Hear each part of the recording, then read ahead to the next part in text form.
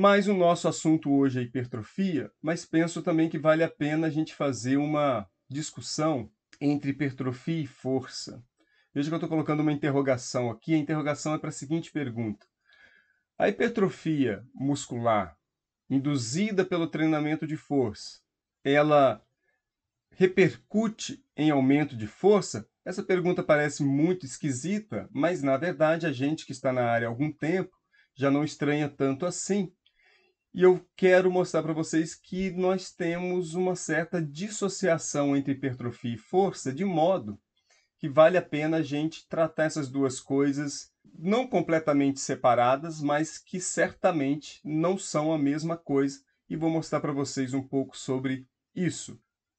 Só para vocês terem uma dimensão, isso aqui foi até uma postagem que eu fiz no, no meu Instagram, e esses dois artigos não são os únicos. Tem artigo anterior, tem um de 2016, por exemplo, mas esses autores aqui, eles questionam, basicamente o questionamento deles é de que o ganho de massa muscular induzido pelo treinamento de força não teria nenhuma repercussão no ganho da força. Parece bastante esquisito a gente ouvir isso, mas nós temos gente, inclusive gente com bastante experiência na área, que desconfia de que o treina, que a hipertrofia induzida pelo treinamento não iria repercutir ou não, não repercute no, no ganho de força. Temos, obviamente, autores que rebatem isso, como esse terceiro artigo, e o quarto que faz uma análise mais ampla, mais cautelosa, dando uma dimensão maior sobre a complexidade disso.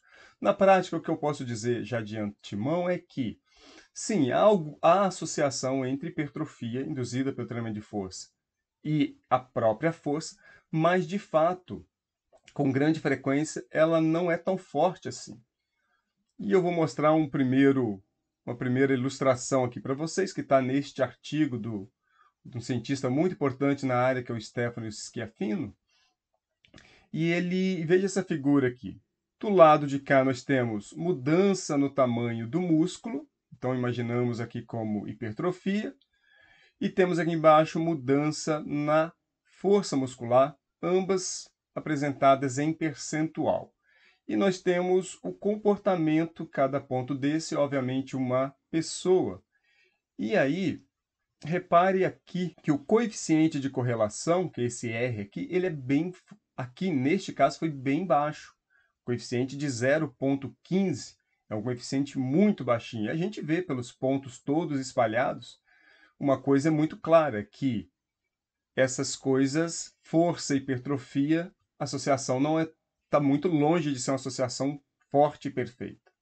Se a gente pega, por exemplo, onde eu estou demarcando aqui, aliás, poderia ser até um pouquinho para cá, o que nós veremos, cada ponto que a gente está vendo aqui, representa pessoas que ganharam força muscular e um percentual, alguns bastante, 30%, 40%, e não ganharam nada de massa muscular. Aliás, algumas, a, a maioria, aliás, perdeu, né? porque eu estou traçando exatamente perto de zero. Perdeu massa muscular, ou seja, ganhou força e perdeu massa muscular.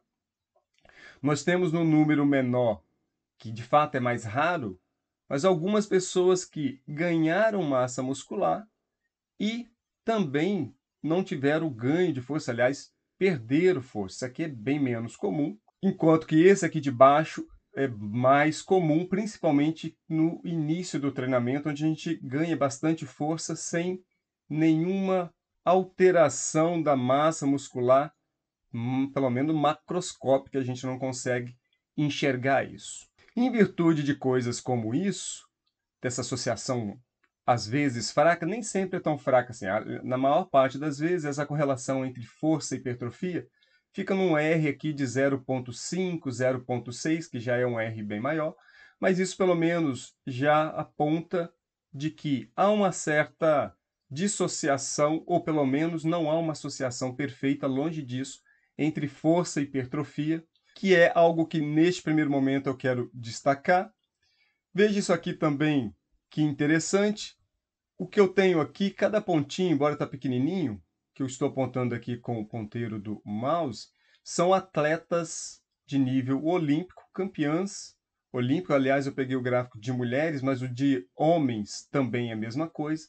E aqui eu tenho uma coisa bem interessante. Do lado de cá, a carga, o peso que essas mulheres levantaram na Olimpíada. Isso aqui na, da Olimpíada de 2012. E aqui embaixo, qual classe elas competiam. Porque, como vocês devem saber, na Olimpíada tem classe de peso. Então aqui, aconteceu aquilo que a gente já imagina. Pessoas mais leves, com menos massa, levantar uma carga menor e pessoas, mulheres com mais massa, uma carga maior, e aqui deu um coeficiente bem alto. Até aí, nenhuma surpresa, aqui embaixo que a coisa fica mais intrigante. O que, que, se, o que, que temos aqui embaixo? Aqui é o peso que estas mulheres levantaram, a carga que elas levantaram no, no levantamento de peso olímpico, dividido pelo peso do próprio corpo. E aí acontece o inverso. Isso significa que pessoas mais leves têm mais força relativa do que pessoas mais pesadas. Veja que pessoas mais pesadas produzem menos força relativa. É como se eu dissesse que um quilo de massa de uma pessoa mais leve, se a gente conseguisse pegar lá um quilo de massa de uma pessoa mais leve, este um quilo produziria mais força do que um quilo de uma pessoa mais pesada. Esse é um fenômeno bem conhecido. E se vocês quiserem brincar com isso, pode até entrar na internet, buscar os campeões olímpicos, talvez no próprio Wikipedia, e vocês vão ver que os levantadores de peso olímpico de maior peso corporal, eles levantam uma carga relativa menor do que as pessoas com peso menor. Então, de novo, mostrando que o, e, obviamente, né, pessoas mais pesadas, ainda mais atleta, claro que tem uma quantidade de músculo maior, mas mostrando que essa associação entre força e hipertrofia, ela vai se perdendo também, vai diminuindo à medida que uma pessoa vai aumentando a massa. E intrigante também que esse tipo de fenômeno, em 2015 nós tivemos um estudo aqui mostrando que acontece na própria fibra. Pegaram fibra muscular de de humanos que não faziam treinamento, fisiculturistas, então esse gráfico é de quem, quem não fazia treinamento, de baixo aqui de fisiculturista, e aqui embaixo de quem atletas de potência.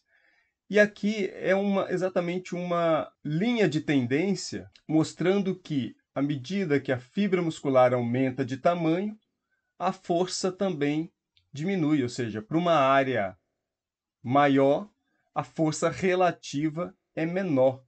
É um fenômeno intrigante, obviamente que tem algumas sugestões de por que, que isso acontece, e temos também discordância, por exemplo, esse estudo aqui, depois que fez redução, fez uma correção pela quantidade de água, ele não encontrou. Eu não consegui esse artigo aqui na íntegra, então não consigo falar muito dele, só consegui dar uma olhada no resumo, ele não estava disponível ainda, mas eu vi que eles, depois com uma correção, eles não encontraram exatamente esse fenômeno aqui.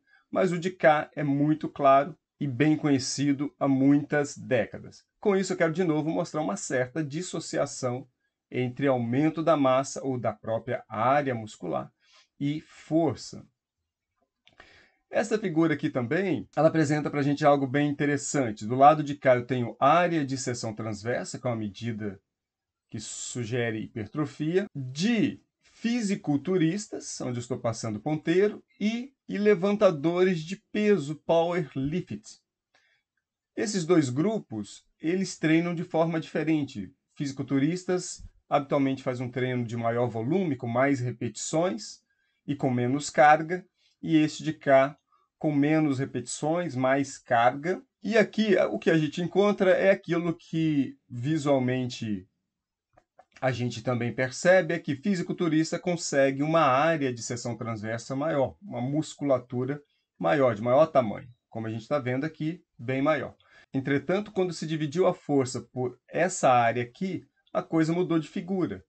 Os levantadores de peso, do estilo powerlifting, produz mais força que os fisiculturistas. Isso aqui também não é novidade em pessoas mais velhas comparadas a pessoas mais jovens. A gente sabe que uma área, a mesma área de músculo de uma pessoa mais velha produz menos força que de uma pessoa mais jovem. Daí que vem uma ideia que é chamar isso de uma qualidade hipertrófica, ou seja, a qualidade hipertrófica de uma pessoa mais velha é menor do que de uma pessoa mais jovem. Aqui a gente está vendo também que a qualidade hipertrófica, ou seja, a capacidade dessa hipertrofia repercutir na força, não é igual entre diferentes modalidades. Também há sugestões de por que isso acontece, mas que a gente pode conversar no outro momento. Por hora, o que eu quero é dar essa dimensão de uma certa dissociação entre força e hipertrofia, ou que pelo menos não são exatamente a mesma coisa. Estão correlacionadas sim. A gente tem, principalmente em estudos com modelo. Há dois, duas coisas acho que é interessante contar também. Uma outra coisa que faz com que se desconfie da hipertrofia se convertendo em produção de força é que alguns modelos de animais geneticamente modificados que eles ganham massa muscular, mas produzem uma, uma hipertrofia disfuncional, que ela não repercute em força. Isso também faz com que alguns autores desconfiem da hipertrofia e força. Entretanto, nós temos também estudos, principalmente, é, principalmente não, com modelo animal, que quando você pega a célula, o miócito, antes e depois de um treinamento, a gente vê que o aumento dessa fibra repercutirá em aumento da força.